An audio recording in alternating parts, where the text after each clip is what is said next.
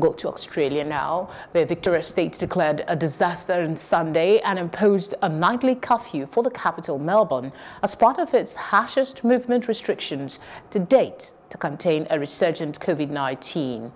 Melbourne, Australia's second largest city, is already under a reimposed six-week stay-at-home order, but struggling to rein in the disease with record numbers of infections of the new virus last week.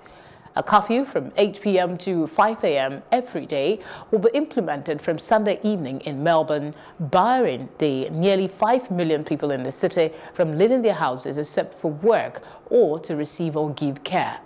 The sweeping new restrictions limit the time Melbourne residents may spend on outdoor exercise and essential shopping. All schools will move to remote learning from Wednesday.